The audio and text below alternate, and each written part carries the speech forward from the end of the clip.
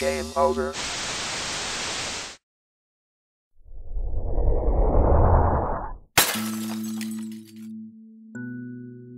Hola, ¿qué tal? Bienvenidos a la reseña de Soul Calibur 5. Han pasado 17 años desde los sucesos del Soul Calibur 4. Esta vez tenemos como protagonista a Patroclos. Patroclos. Patroclos. Patroclos. Patroclos.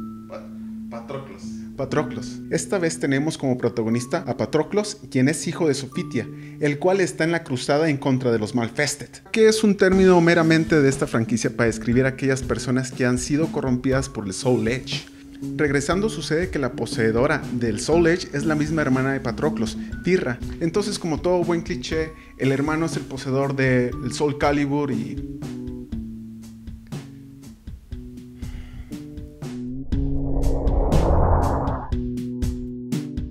que esta entrega es por mucho la mejor de todas. De hecho, tiene arreglos en el combate que lo hacen muy dinámico y creo que por fin Namco le dio el clavo en el gameplay. Obviamente todavía lo puedes jugar al mero estilo machacabotones, pero cuando lo empiezas a dominar, y créanme que aunque es más fácil esta vez, sigue teniendo su reto dominarlo completamente. El juego se hace muy espectacular y bastante divertido. Aunque tiene personajes nuevos, los movimientos siguen siendo en 80% idénticos a sus antecesores. El nuevo sistema del Critical Edge es más fácil dominar para los noobs que podamos también marcar poderes como los pros. Está el Brave Edge, que sirve para cargar poderes o romper la guardia del oponente. De hecho, esto me recuerda un poco al Street Fighter 4. Así también está el Guard Impact para repeler los ataques y poder contraatacar más fácilmente. En general sigue teniendo la misma base de combate que ha evolucionado por 16 años y 7 entregas de la franquicia. En los modos de juego tenemos el infame modo de historia. De hecho, no puedo creer que se hayan atrevido a hacer este tipo de trabajo. No es más que una secuencia de bocetos mal hechos, con las voces increíblemente sobreactuadas, con una historia que salió de un fanfiction escrito con las patas. No solo eso, el modo de historia consta de 20 capítulos entre los cuales hay peleas genéricas y algunas boss fights. Bastante, bastante frustrantes. En serio que pasé varias horas sufriendo. En los otros modos de juego tenemos la arcade, el versus y el multiplayer. Así también tenemos la customización de personajes. Básicamente este juego se debería de llamar Soul Calibur Multiplayer Edition, y no solo porque parece que los otros modos son inexistentes y solo funciona el online, sino porque funciona demasiado bien. Namco le dio al clavo al netcode esta vez a diferencia de la entrega pasada. Aparte que puedes invitar a un amigo a jugar una reta directamente, también tiene el modo de coliseo global. Básicamente es un lobby en el que puedes accesar con más jugadores y formar torneos. El lobby consta con un chat global e incluso puedes ver las peleas en curso y comentar sobre las mismas. De cierta manera es básico, pero tener un juego con la jugabilidad tan completa y profunda de Soul Calibur funcionando en línea con tal fluidez convierte este título en un ganador.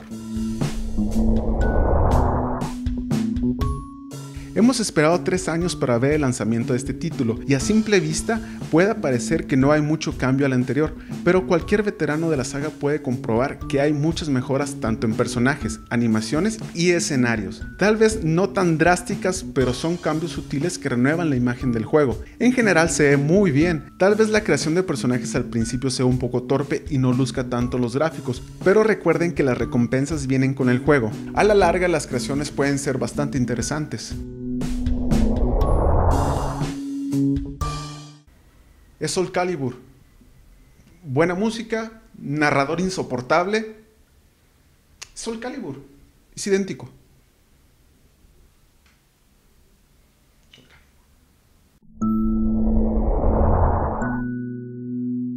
Soul Calibur ha tenido muy buenas entregas al paso de los años. Nunca olvidaremos el juego perfecto que tuvimos en el Dreamcast o lo especial que fue jugar con Link en el Soul Calibur 2. Y con cada entrega puedo decir sinceramente que no han decepcionado. Project Soul ha hecho todo lo posible para seguir evolucionando la franquicia y tenernos interesados hasta la fecha, pero ese título predomina la importancia en el multiplayer y quizás sea lo más importante del momento, pero sí hay algunos gamers que van a sentir que hay un hueco en esta entrega. Por el lado de la historia tenemos 10 personajes nuevos y tuvimos que decir adiós a algunos favoritos y este tipo de cambios nunca es fácil para un fan, a pesar de que tenemos los nuevos personajes que son excelentes, son mímicas de sus antecesores. Y no les puedo decir mentiras, la presentación del juego es mala, les puedo garantizar que la mayoría de los que han comprado se la han pasado buscando un modo de historia diferente que no sea con el nuevo personaje porque a pesar de que lo desarrolla CyberConnect 2 es muy simplón, aburrido y tedioso. No juegas con todos los personajes como para que te sirva de entrenamiento. Sinceramente es completamente olvidable este modo.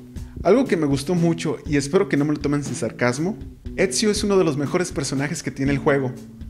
Sí, Ezio. No solamente se mueve poca madre, sino que su arsenal de movimientos encajan a la perfección con el videojuego. Espero que Ubisoft lo haya jugado y tome en cuenta este tipo de cosas para mejorar su gameplay. Ahora, si tú no sueles jugar online este tipo de juegos, no vas a disfrutar realmente Soul Calibur 5. No hay historia que complete a los nuevos personajes, mucho menos a Ezio. Podríamos hacernos preguntas como, si es mejor que el anterior o realmente hay un cambio en esta entrega? Todas estas preguntas van de la mano con lo que he remarcado en esta reseña, el multiplayer. Y de esta manera, a pesar de que este es un buen título, puede que sea uno de los menos atractivos de toda la saga. Sin embargo, esa respuesta solo la puedes tener tú. ¿Te interesa el multiplayer?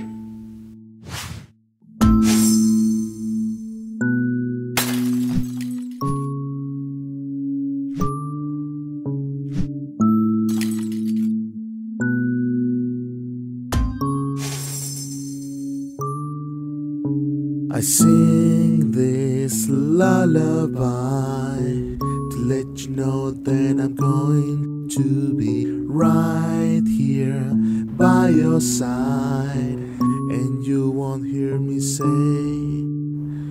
goodbye.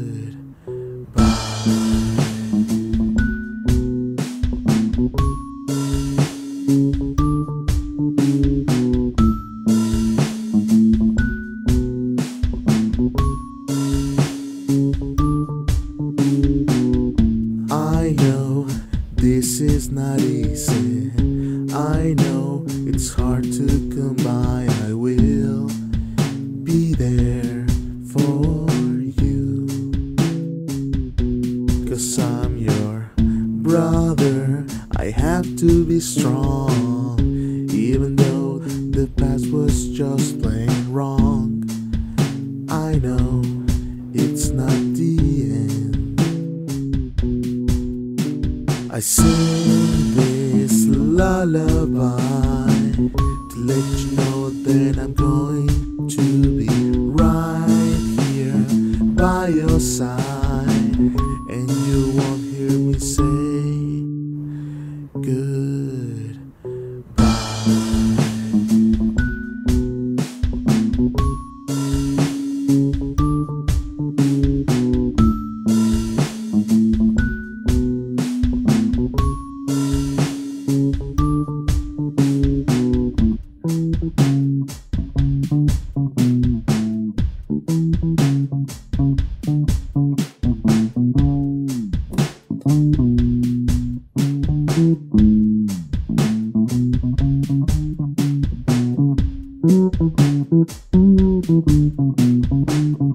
Mm-hmm.